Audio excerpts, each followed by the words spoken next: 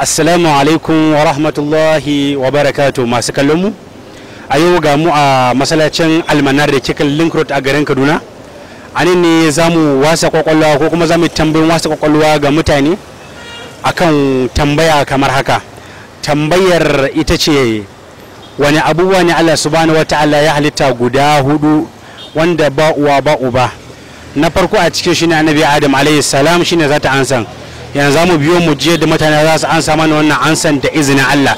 Yadda za su ansa sauran guda uku ko za su iya ko za su iya bari mu ji. Har dai sun ansa daidai za mu ji. In ba su ansa daidai ba za mu ji wurin bakin malamai mu ji da izinin Allah. Assalamu alaikum akramakallah.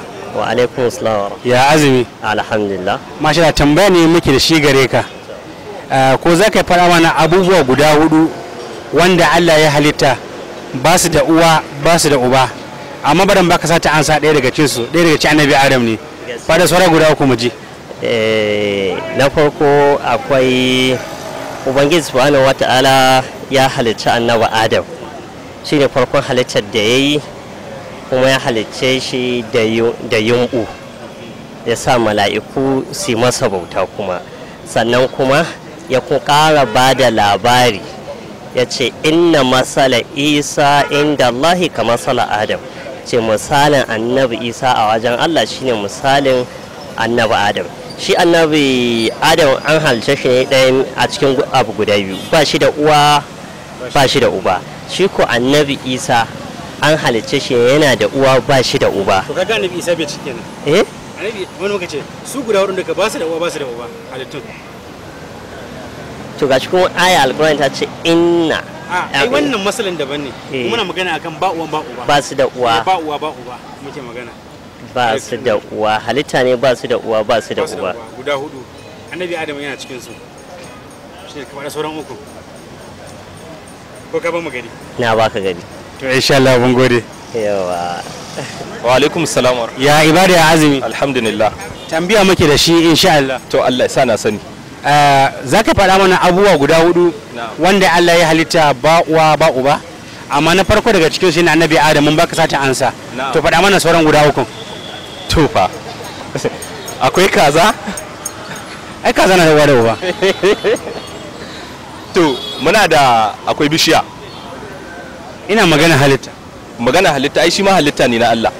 Wanda Allah ya ba labarin cikin alkur'ani eh to. Gaskiya ba zan iya tunawa yanzu ba. To mun gode ka babu gade masha Allah. Ah, assalamu alaikum ya ibada ya azumi? Alhamdulillah. Tambaya muke da shi da izinin Allah. To Allah ya sa na sani a wani abubuwa ne guda huɗu Allah subhanahu wa ta'ala ya halicce su ba uwa ba uba? Ɗaya daga cikin su annabi Adam na alayhi salam. To za mu so ku faɗa mana sauran guda uku. Kuma Allah ya bani sace alqur'ani. Babu uwa babu uba.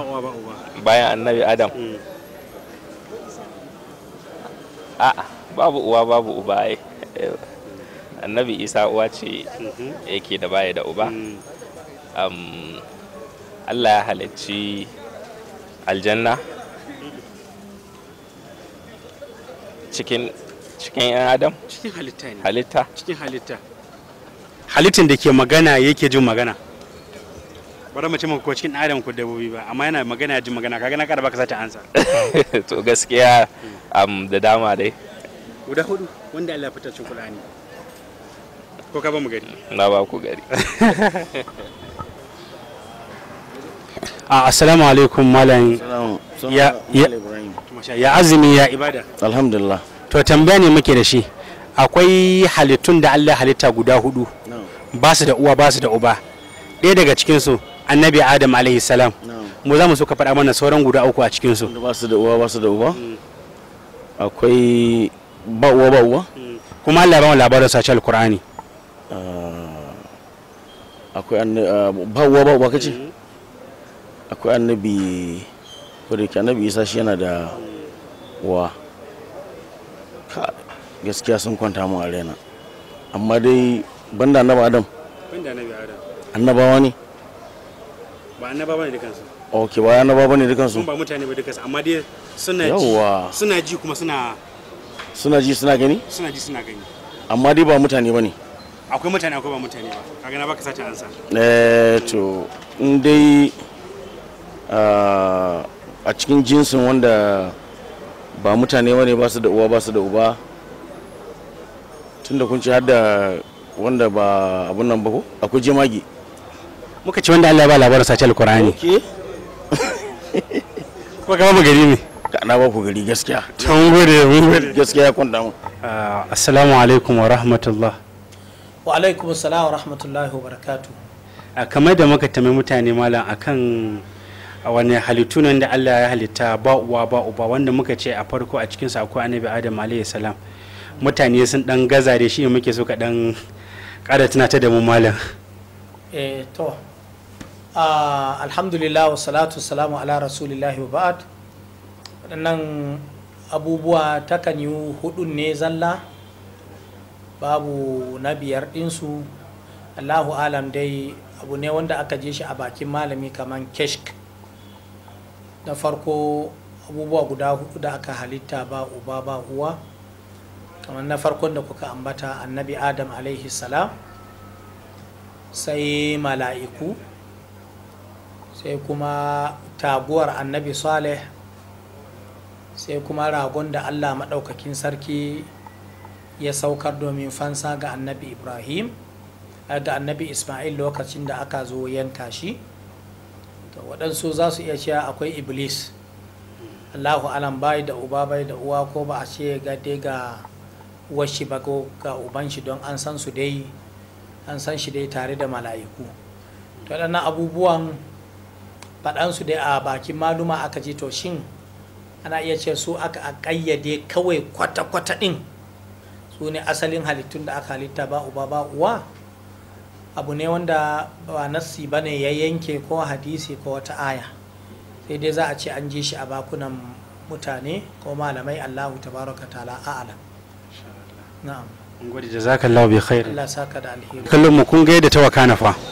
Tambayoyin mu sun yi tsada sai da muka je wurin malam dr malam tukur almanar yadda muka je daga bakin shi. Kamar da malam ya faɗa abubuwa guda huɗu ne wanda Allah subhanahu wataala halitta ba uwa ba uba. Amma wasu na ganin killa hada na biyar a ciki inda ya ce wallahu alam. A cikin su dai akwai nabi adam alaihi salam akwai mala'iku wanda Allah halitta daga daga haske akwai kafshi ismail wato ragon ah, da Allah ya cece annabi Ismail da shi lokacin da baban shi annabi Ibrahim aka mushe da yanka shi da kuma taguwar annabi Saleh wanda Allah ya sa fito a cikin dutse lokacin da mutane suka nemi annabi Salihu alaihi salam da ya musu mujiza. Amma wasu suna ganin cewa har da Iblis. To wannan dai ba wai cikakken nasi ba ne ko Qur'ani ko hadisi an je daga cikin malamai wanda hikima ne aka samu daga jin malamai. Kamar da aka yi daga ah, shahararren malamin na Misra wato Kishk. Wanda yake makaho wani wanda Allah bashi ilimi wanda faɗa cikin wazin shi inda ya kawo kistan wani malami bastami. Insha Allah za a ji wasu tambayoyi daga gare mu wanda na hikima ne kuma na addinin musulunci. Kar ku manta ku ci gaba da kallon tauraruwar Arewa TV ku yi liking ku yi subscribing kuma ku dinga yin comment.